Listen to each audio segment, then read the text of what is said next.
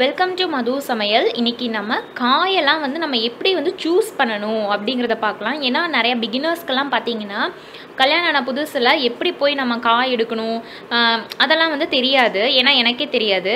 அதுக்கப்புறம் தான் நானே வந்து எக்ஸ்பீரியன்ஸ் ஆனதுக்கப்புறம் தான் எனக்கே ஒவ்வொன்றும் தெரிய வந்துச்சு. ஸோ நான் நான் எக்ஸ்பீரியன்ஸால் எனக்கு தெரிஞ்ச விஷயத்த நான் உங்களுக்கு வந்து ஷேர் பண்ணுறேன் நான் வந்து பர்ச்சேஸ் பண்ணிட்டு வந்ததுக்கப்புறம் வந்து நான் டிசைட் பண்ணுவேன் என்னென்ன காய்கறி நம்ம வாங்கிட்டு வந்திருக்கோமோ அதை வச்சு நம்ம வந்து என்ன மீல்ஸ் எல்லாம் வந்து ப்ரிப்பேர் பண்ணலாம் அப்படிங்கிறத நான் வாங்கிட்டு வந்ததுக்கப்புறம் தான் வந்து நான் வந்து என்னென்ன நான் யோசித்து எழுதி வைப்பேன். ஃபஸ்ட்டு கடைக்கு போனதுக்கப்புறம் எதெல்லாம் ஃப்ரெஷ்ஷாக இருக்குது அப்படின்னு பார்த்துட்டு அதை மட்டும் தான் நான் வந்து எடுப்பேன். தேவையில்லாத ஃப்ரெஷ்ஷாக இல்லாத ஐட்டம்லாம் நான் எடுக்கவே மாட்டேன். அப்புறம் நான் எடுக்கிறப்பவே நானே டிசைட் பண்ணிப்பேன். ஓகே கீரை எடுத்துருக்கோன்னா ஒரு நாள் கீரை சாதம். புதினானா ஓகே ஒரு நாள் புதினா சாதம். அப்புறம் கேரட் பீன்ஸ் எல்லாம் எடுத்திருக்கேன்னா ஒரு நாள் நம்ம வெஜிடபிள் ஃப்ரைட் ரைஸ் போட்டுக்கலாம். அப்படின்னு நான் மைண்டில் நான் ஒவ்வொரு வெஜிடபிள் எடுக்கிறப்ப நானாக டிசைட் பண்ணிப்பேன். மண்டே டியூஸ்டே வெனஸ்டேன்னு ஓரளவு நமக்கே வந்து மைண்டில் வந்து ஒரு பிளான் வந்து நீங்கள் போட்டுக்கோங்க. காய் வந்து நீங்கள் எடுக்கிறப்ப. அதுக்கப்புறம் நீங்கள் வீட்டுக்கு வந்துட்டு ஃபைனலாக நீங்கள் பிளான் வந்து நீங்கள் பண்ணிக்கலாம். லஞ்சுக்கு என்ன பிரேக்ஃபாஸ்ட்டுக்கு என்ன டின்னருக்கு என்ன அப்படின்னு. ஃபஸ்ட்டு ஃப்ரெஷ்ஷாக எது இருக்குது அப்படின்னு நீங்கள் வந்து பார்க்கணும். அப்புறம் உங்களோட ஃபேமிலி மெம்பர்ஸ் எவ்வளவோ அதுக்கு தகுந்த மாதிரி நீங்கள் வந்து அந்த குவான்டிட்டியை வந்து பார்த்து நீங்கள் வந்து எடுத்துக்கணும். நான் வந்து இன்றைக்கி வந்து நான் ரெண்டு மெம்பர்ஸ்க்காக நான் பர்ச்சேஸ் பண்ணியிருக்கேன். சில கடையெல்லாம் பார்த்தீங்கன்னா ஆல்ரெடி பேக் பண்ணி உள்ளே வச்சுருப்பாங்க. நீங்கள் வந்து அந்த மாதிரி எடுத்துகிட்டு வராதீங்க. தயவு செஞ்சு ஏன்னா அந்த பேக்கில் வந்து எப்போ பேக் பண்ணியிருப்பாங்கன்னே தெரியாது. ப்ளஸ் ஏதாவது மருந்தும் கண்டிப்பாக போட்டிருக்க வாய்ப்பு இருக்குது அதனால் நீங்கள் அந்த மாதிரி பேக்டு ஐட்டம்ஸ் வாங்காதீங்க. இந்த வெங்காயம் பூண்டு எல்லாமே பேக்டாக தான் இப்போல்லாம் வருது நிறையா கடையில் பார்த்தீங்கன்னா. நீங்கள் வந்து மார்க்கெட்டுக்கு போய் வாங்குங்க. அப்படி இல்லைன்னா நீங்கள் பொதுவாக அந்த மளிகை கடையிலேயே வந்து ஃப்ரெஷ்ஷாக கிடைக்கும். எந்த கடையில் ஃப்ரெஷ்ஷாக இருக்குன்னு பார்த்துட்டு நீங்களாக போய் செலக்ட் பண்ணி வாங்குற மாதிரி. நீங்களாக போய் பொறுக்கி எடு எடுக்கிற மாதிரி பார்த்து வாங்க அந்த மாதிரி கடைக்கு வந்து போய் வாங்குங்க. பேக்கேஜ் ஐட்டம் எப்போ பண்ணாங்கன்னு தெரியாது. உள்ளே வந்து அழுகுன ஐட்டம்ஸும் போட்டு போட்டிருப்பாங்க. பழங்களெல்லாம் பார்த்தீங்கன்னா மோந்து பார்த்தாலே உங்களுக்கு தெரியும் அந்த ஃப்ரெஷ்னஸ் நல்ல வாசம் நல்லா வரும். அதை வச்சு நீங்கள் கண்டுபிடிச்சிக்கலாம் இது ஃப்ரெஷ்ஷாக இருக்குது அப்படின்னு. ஆப்பிளை பொறுத்தவரை பார்த்தீங்கன்னா வேக்ஸ்டாக வந்து அப்படியே மெழுகு பூசி நல்லா முழு முழுன்னு நல்லா கலர்ஃபுல்லாக இருக்கும். அந்த மாதிரி வந்து வாங்காதீங்க மோஸ்ட்லி அப்படியே வாங்கினாலும் வேக்ஸை வந்து ஒரு நைஃபை வச்சு இப்படி சுரண்டிட்டு அதுக்கப்புறம் நீங்கள் கழுவிட்டு சாப்பிடுங்க. பாருங்க எ- எந்த தோலெல்லாம் சுருக்கமே இல்லை. இந்த மாதிரி நல்லா கெட்டியாக ஃபிம்மாக இருக்கணும். ஸ்மெல் பண்ணி பார்த்தீங்கன்னா ஃப்ரெஷ்ஷாக இருக்கும். இப்போ நான் அடுத்து மஷ்ரூம்க்கு வரேன். மஷ்ரூம் எப்படி செலக்ட் பண்ணணும்னு பார்த்தீங்கன்னா அதாவது க்ளோஸ்டாக இருக்கணும். எதுவுமே பாருங்கள் ஓப்பன் ஆகி இல்லை. ஓப்பன் ஆகி உள்ளே இருக்கிற அந்த ப்ரௌன் எல்லாம் தெரிஞ்சிச்சு அப்படின்னா அது வந்து ரொம்ப லேட்டான மஷ்ரூம்னு அர்த்தம். ரொம்ப நாள் ஆன மஷ்ரூம் தான் வந்து ஓப்பன் ஆகிருக்கும் பாருங்கள் இவ்வளோ அழகாக ஒயிட்டாக ஓப்பன் ஆகாமல் க்ளோஸ்டாக இருக்குது இந் இதுதான் வந்து ஃப்ரெஷ்ஷான மஷ்ரூம் இந்த மாதிரி தான் நீங்கள் மஷ்ரூம்ஸ் வாங்கணும். பூண்டு பார்த்தீங்கன்னா இப்படி அழுத்தி பார்த்தீங்கன்னா நல்லா தெரியும் கெட்டியாக இருக்கும். உள்ளே உள்ளே வந்து இப்படி போச்சுன்னா அது வந்து அழுகுனதுன்னு அர்த்தம் மேக்ஸிமம் பார்த்தீங்கன்னா நல்லா கெட்டியாக இருக்குது அதுவும் இல்லாமல் இந்த மாதிரி நீங்கள் பெரிய பெரிய பூண்டாக வாங்கிட்டிங்கன்னா உங்களுக்கு வந்து உரிக்கிறது ஈஸி சின்னதாக இருந்துச்சுன்னா நீங்கள் அதை ரசம் இடிக்கிறதுக்கு அந்த மாதிரி யூஸ் பண்ணிக்கலாம். வாங்குறப்ப ஃபுல்லாக ஒரே டைம் பழுத்ததாக வாங்கிட்டீங்கன்னா ஒரு ரெண்டு மூணு நாள்லேயே உங்களுக்கு அழுகி போயிடும் கொஞ்சம் காயாக வாங்கி வாங்கிட்டீங்கன்னா உங்களுக்கு ஒரு அஞ்சு நாள் மாதிரி நீங்கள் வச்சு சாப்பிடலாம். இஞ்சி பார்த்தீங்கன்னா பார்த்தாவே நல்லா மணல் வந்து நிறையா இருக்கும். அதுக்கப்புறம் பார்த்தீங்கன்னா அங்கங்கே ஒயிட்டாக இருக்கும். சில இஞ்சிலெல்லாம் பார்த்தீங்கன்னா அந்த ஃபங்கஸே ஃபார்ம் ஆகிருக்கும் அதெல்லாம் ரொம்ப பழசு. அதுவும் இல்லாமல் தோல் எல்லாமும் சுருங்கி இருக்கும். இது இது வந்து பாருங்கள் எவ்வளோ மண் மணலும் இருக்குது தோலெல்லாம் ஃப்ரெஷ்ஷாக இருக்குது நீங்கள் பார்த்தீங்கன்னாவே தெரியும் எங்கேயும் அந்த ஒயிட் கலர் அந்த ஃபங்கஸ்லாம் எதுவுமே இல்லை ஃப்ரெஷ்ஷு ஸோ இப்படி தான் நீங்கள் பார்த்து வாங்கணும். இப்போ பச்சை மிளகா பார்த்தீங்கன்னா எவ்வளோ க்ரீனாக இருக்குது பாருங்கள் எந்த அடி எதுவுமே படலை. நல்லா ஃப்ரெஷ்ஷாக இருக்குது அந்த மாதிரி நீங்கள் பார்த்து பொறுக்கி வாங்கிக்கலாம். அடுத்து சுரக்காய். எந்த காயினாலுமே இப்படி வச்சு நீங்கள் பார்த்தீங்கன்னாவே தெரியும். இப்படி பிடிச்சி பிடிச்சு பார்த்தீங்கன்னாவே நல்லா ஸ்ட்ராங்காக பார்க்குறதுக்கும் ஃப்ரெஷ்ஷாக இருக்கும். இன்னொன்று எந்த காய்கறி வாங்கினாலும் பிஞ்சு காய்கறியாக வாங்கினீங்கன்னா டேஸ்ட்டாக இருக்கும். ரொம்ப பெருசாக வாங்கினீங்கன்னா அது நல்லா இருக்காது. முத்துனதா அந்த மாதிரிலாம் வாங்காதீங்க. சின்னதாக இருந்தால் அது டேஸ்டியாக இருக்கும். கேப்சிகம் எங்கேயுமே அழுகலை ஃப்ரெஷ்ஷாக இருக்குது பாருங்கள் இந்த மாதிரி வாங்கிக்கோங்க. சௌ சௌ. இருந்தான் தோலெல்லாம் பார்த்தீங்கன்னா சுருங்கி இருந்துச்சுன்னா பழசு. இதெல்லாம் பாருங்கள் இவ்வளோ சுருங்கவே இல்லை. நல்லா ஃப்ரெஷ்ஷாக இருக்குது அதனால நான் இதை எடுத்துட்டேன் சரி ஒரு நாள் வந்து துவையல் செஞ்சுக்கலாம். இட்லி தோசைக்கு சட்னி சவுச்சோ சட்னி செஞ்சுக்கலாம் நான் எடுத்துட்டேன். அதான் நான் எடுக்கிறப்பவே வந்து பிளான் பண்ணிப்பேன். ஓகே இது இதெல்லாம் அப்போ செஞ்சுக்கலாம். இதெல்லாம் சட்னி செஞ்சுக்கலாம். இது ஒரு வெரைட்டி ரைஸ் செய்யலாம் அப்படின்னு நீங்களா ஒரு மைண்டில் பிளான் போட்டு எடுத்துகிட்டு வந்துக்கோங்க. அடுத்து கருவேப்பிலை. அதே மாதிரி நல்லா க்ரீனிஷாக ஓட்டை இல்லாமல் ஃப்ரெஷ்ஷாக பார்த்து வாங்கிக்கணும். கீரை புதினா கொத்தமல்லி இது எல்லாமே அதே மாதிரி தான் நல்லா பச்சை பசேல்னு இருக்கணும்.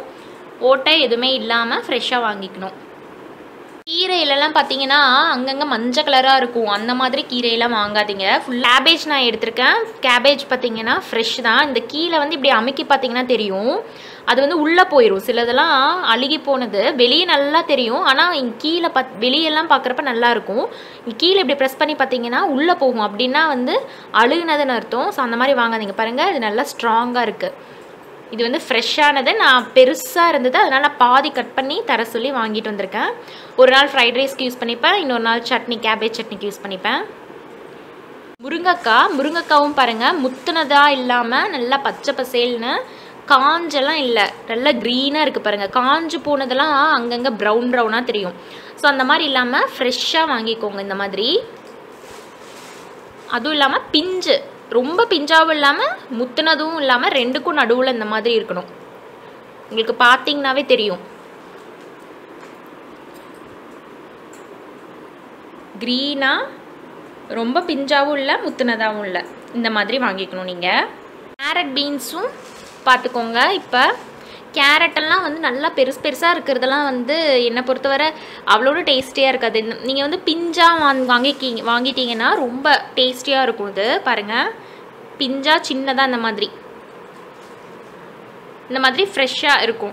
சில இதெல்லாம் பார்த்தீங்கன்னா இந்த டிப்பில் வந்து அப்~ ஒரு மாதிரி கருப்பாக ஒரு மாதிரி க்ரீன் கலராக இருக்கும். அதெல்லாம் வந்து பழசுன்னு அர்த்தம். அதெல்லாம் வாங்காதீங்க. இந்த மாதிரி ஃப்ரெஷ்ஷாக ஸ்கின்னை பார்த்தாவே உங்களுக்கு தெரியும் ஃப்ரெஷ்ஷாக இருக்கிறது. அடுத்து பீன்ஸு பீன்ஸ் எல்லாம் நிறையாவது பார்த்தீங்கன்னா உடஞ்சி உடஞ்சிருக்கும் அந்த மாதிரிலாம் வாங்காமல் நல்லா முழுசாக அந்த மாதிரி க்ரீனாக ஃப்ரெஷ்ஷாக இருக்கிறத வாங்கிக்கோங்க. எந்த சொத்தல் எதுவுமே இல்லாமல் தக்காளி பார்த்தீங்கன்னா ரொம்பவும் பழுத்து பழுத்ததாக இருக்கக்கூடாது. பாருங்கள் எப்படி இருக்குன்னா கொஞ்சம் கெட்டியாக தான் இருக்குது என்னது வந்து அப்படியே ரொம்ப உள்ளெல்லாம் போகல. கொஞ்சம் கெட்டியாக இருக்கணும். ரொம்பவும் சொத சொதன்னு இல்லாமல் எடுத்துக்கோங்க. அப்போ தான் உங்களுக்கு ஒரு வாரத்துக்கு நல்லா வரும். இல்லைன்னா ரெண்டு நாள்லையே கெட்டு போயிடும் அதனால் கொஞ்சம் கெட்டியாக இருக்கிற மாதிரி ஓரளவு பழுத்த மாதிரி வாங்கிக்கோங்க. ரெட்டிஷாக நல்லா. தக்காளியில் பார்த்தீங்கன்னா மேலே நல்லா இருக்கும். கீழே பார்த்தீங்கன்னா ஒரு ஓட்டை இருக்கும். ஸோ அந்த மாதிரி நீங்கள் எல்லா சைடும் இப்படி பார்த்து ஓட்டை இல்லாமல் வாங்கிக்கோங்க. கொஞ்சம் கெட்டியாக நல்லா ஆட்டி பார்த்து வாங்குங்க. ஆட்டி பார்த்தீங்கன்னாவே தெரியும் உங்களுக்கு கேட்கும் தண்ணியோட சத்தம் நல்லா. தண்ணியோட சத்தம் நல்லா கேட்டதுன்னா நல்ல தேங்காய்னு அர்த்தம். தண்ணி சத்தம் கேட்கலன்னா அது கெட்டு போனது. அந்த மாதிரி எடுக்காதீங்க. சீஸ்னல் பா காய்கறி பழங்கள்ல நிறையா இருக்கும். உங்களுக்கு வந்து ஒரு வேலை தெரியல அப்படின்னா நீங்கள் கடைக்காரங்களை வந்து கேட்டாலே தெரியும். என்ன சீசன் என்ன அப்படின்னு கேட்டாலே அவங்களே சொல்லுவாங்க. ஆனால் எந்தெந்த சீசனில் என்னென்ன ஃப்ரூட்ஸ் வெஜிடபிள்ஸ் இருக்கும் அப்படிங்கிறதும் நான் உங்களுக்கு வந்து நான் சொல்கிறேன்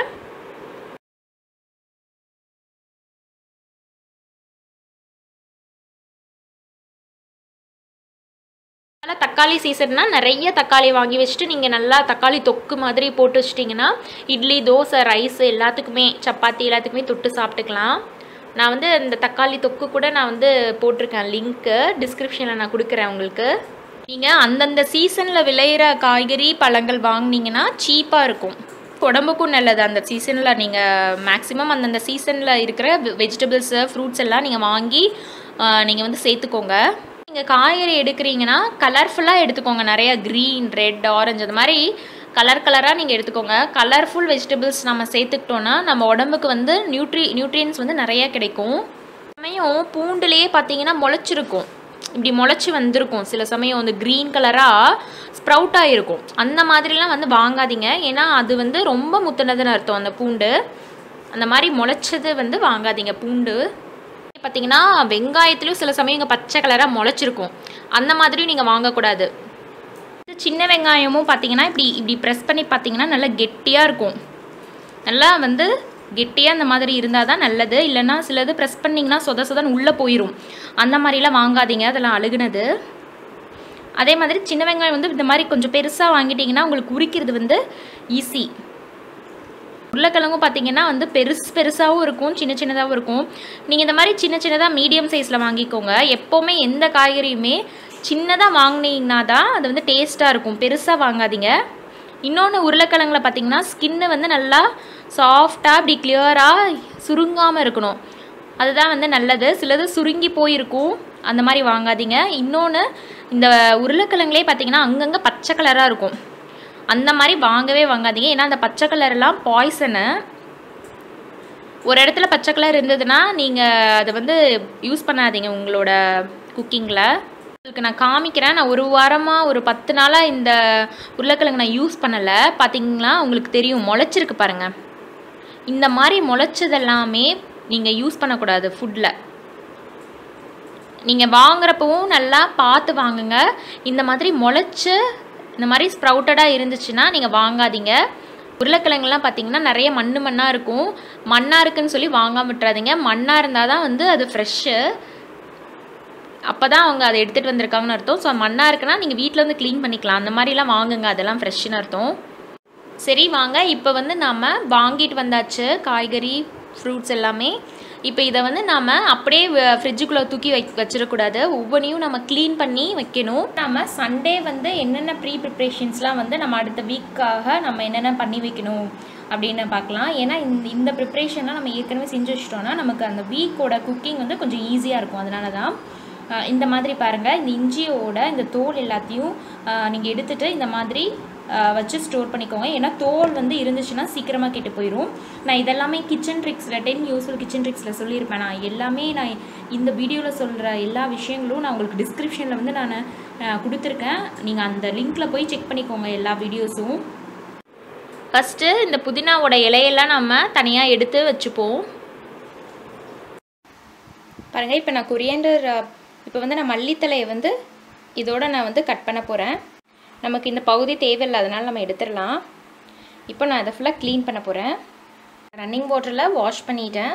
உங்களுக்கு வந்து இந்த மாதிரி அழுகுனது இல்லை ஏதாவது எல்லோ கலர் அந்த மாதிரி இருந்துச்சுன்னா நீங்கள் எடுத்துகிட்டு அதுக்கப்புறம் தான் நீங்கள் ஸ்டோர் பண்ணணும். இதோட வச்சிட்டிங்கன்னா அது அப்படியே ஸ்ப்ரெட் ஆகும் மற்ற இலைக்கெல்லாம். இப்போ நம்ம கழுவி வச்ச இந்த கொத்தமல்லியை வந்து நம்ம இந்த மாதிரி டவல்ஸில் வந்து போட்டு நல்லா ஃபேன் கடியில் காய விடுங்க. இந்த ஈரமெல்லாம் இந்த துணியை அப்சார்ப் பண்ணதுக்கப்புறம் நம்ம எடுத்து ஸ்டோர் பண்ணிக்கலாம் ஃப்ரிட்ஜில் இப்போ அடுத்து நான் வந்து புதினா வந்து ஃபுல்லாக ஆஞ்சு வச்சாச்சு. இந்த மாதிரி நீங்கள் ஆஞ்சு வச்சிட்டிங்கன்னா உங்களுக்கு வந்து ஈஸியாக இருக்கும். அடுத்த வீக்குக்கு வந்து நீங்கள் ஏதாவது பிரியாணியோ சட்னியோ செய்கிறப்ப டக்குன்னு நீங்கள் எடுத்து யூஸ் பண்ணிக்கலாம். நான் வந்து ஃபுல்லாக க்ளீன் பண்ணியாச்சு.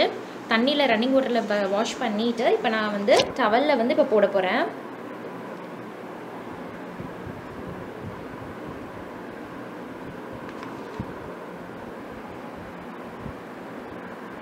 எப்போவுமே பார்த்தீங்கன்னா கீரையும் சரி காய்கறியும் சரி சின்னதாக இருந்ததுன்னா அது வந்து நாட்டுக்காய். இதே பெருசாக இருந்ததுன்னா அது ஹைப்ரிட் ஹைப்ரிட் வந்து நம்ம உடம்புக்கு நல்லதே இல்லை. நீங்கள் வந்து சண்டேவே இந்த மாதிரி பூண்டு வந்து உரிச்சு வச்சிட்டிங்க அப்படின்னா உங்களுக்கு அடுத்த வாரத்துக்கு ரொம்ப ஈஸி நான் வந்து இப்போ இதில் பாதி வந்து நான் ஒரு பாக்ஸில் தனியாக எடுத்து வைக்க போகிறோம் மிச்ச பாதியை வந்து நான் ஜிஞ்சர் கார்லிக் பேஸ்ட் வந்து பண்ண போகிறேன் என்னோட ஜிஞ்சர் கார்லிக் பேஸ்ட்டும் நான் ரெடியாக வச்சுருக்கேன். இதில் அடு- அடுத்த அடுத்த வீக்கு நான் யூஸ் பண்ணிக்கலாம். அதனால் டென்ஷனே இல்லை. அடுத்து நான் கொஞ்சம் கார்லிக்கும் நான் தனியாக உரிச்சது வந்து ஃப்ரிட்ஜில் நான் வைக்க போகிறேன் சட்னி அந்த மாதிரி எதுக்காவது நான் யூஸ் பண்ணிப்பேன். அடுத்து நீங்கள் வாங்கி வச்ச ஃப்ரூட்ஸையும் ரன்னிங் வாட்டரில் வாஷ் பண்ணிவிட்டு அதையும் ட்ரை பண்ணிக்கோங்க. அடுத்து கருவேப்பிலையும் நான் வந்து ஆஞ்சு வச்சுருக்கேன். ஃபுல்லாக க்ளீன் பண்ணிவிட்டு இதையும் நம்ம காய வச்சிடலாம்.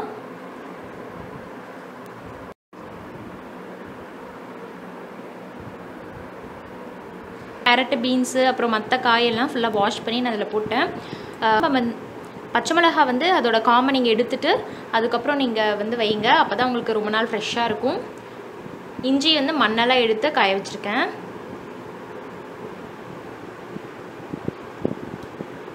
தக்காளி வாஷ் பண்ணியாச்சு. இந்த மாதிரி நீங்கள் எல்லா காய்கறியும் வாஷ் பண்ணி நீங்கள் இந்த மாதிரி காய வச்சுருங்க.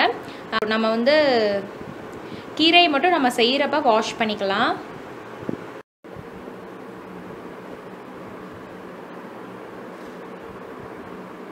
இந்த மாதிரி ஏர்டைட் பாக்ஸில் வந்து போட்டு வச்சுக்கோங்க காஞ்சதுக்கப்புறம். எப்போவுமே கீரை வந்து நீங்கள் வாங்கியிருந்தீங்கன்னா அடுத்த நாளே செஞ்சுருங்க. இப்போ நம்ம சண்டே கீரை வாங்கியிருக்கோம்னா மண்டே செய்ய ட்ரை பண்ணுங்கள் அப்போ தான் கீரை வந்து நல்லா ஃப்ரெஷ்ஷாக இருக்கும். அதே மாதிரி தான் மஷ்ரூம்க்கும் மஷ்ரூமும் ஒரு நாள் தான் வந்து உங்களுக்கு ஃப்ரெஷ்ஷாக இருக்கும். அதுக்கப்புறம் ஒரு மாதிரி கலர் சேஞ்ச் ஆகிரும் இந்த மாதிரி நம்ம டிஷ்யூ பேப்பர் போட்டு எடுத்து வச்சோன்னா அந்த ஈரத்தை வந்து அந்த டிஷ்யூ பேப்பர் அப்சர்வ் பண்ணிக்கும். ஒரு வேளை ஈரம் இருந்தால் தேங்காவும் நம்ம துருவி வச்சிட்டோன்னா நான் ஃப்ரீசரில் வச்சுருவேன். இது நான் எப்படி வந்து பண்ணணும்? ஈஸியான ட்ரிக் இது. இது வந்து நான் உங்களுக்கு டிஸ்கிரிப்ஷனில் கொடு கொடுக்குறேன். நீங்கள் போய் பார்த்துக்கோங்க அந்த வீடியோவை. இது வந்து நான் ஃப்ரீசரில் வைக்க போகிறேன் எனக்கு பத்து நாள் ஆனாலும் ஃப்ரெஷ்ஷாக இருக்கும் இது. காஞ்ச வெஜிடபிள்ஸ் ஃப்ரூட்ஸ் எல்லாத்தையும் நம்ம ஃப்ரிட்ஜில் வச்சிடலாம். டெய்லி யூஸ் பண்ணுற ஐட்டம்ஸ் க கருவேப்பிலை கொத்தமல்லி பச்சை மிளகா இஞ்சி அதெல்லாம் வந்து இந்த மாதிரி நீங்கள் பே பேஸ்கெட்டில் போட்டு வச்சிட்டிங்கன்னா இந்த இந்த பேஸ்கெட்டை ஃப்ரிட்ஜில் அப்படியே வச்சிட்டிங்கன்னா ஈஸியாக இருக்கும். இந்த வீடியோ கண்டிப்பாக உங்களுக்கு யூஸ்ஃபுல்லாக இருக்கும்னு நம்புகிறேன் இந்த வீடியோவை பற்றின கமெண்ட்ஸ் சஜஷன்ஸ் எல்லாமே இங்கே கமெண்ட் பண்ணுங்கள் கண்டிப்பாக நான் பார்க்குறேன் ரிப்ளை பண்ணுறேன் சேனலை மறக்காமல் சப்ஸ்கிரைப் பண்ணுங்கள் உங்களோட சப்போர்ட் எக்ஸ்டெண்ட் பண்ணுங்கள் தேங்க்யூ